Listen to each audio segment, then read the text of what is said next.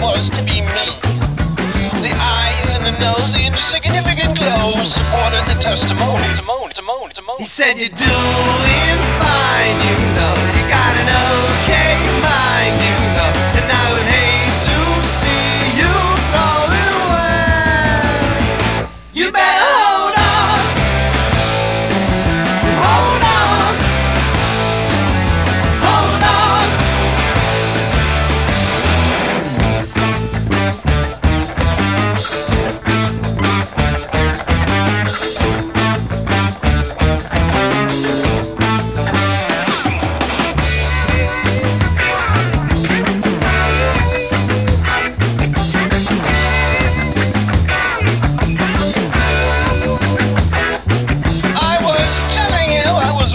fatigued about my life, both the present and the past.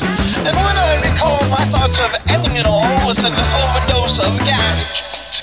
He said you're doing fine,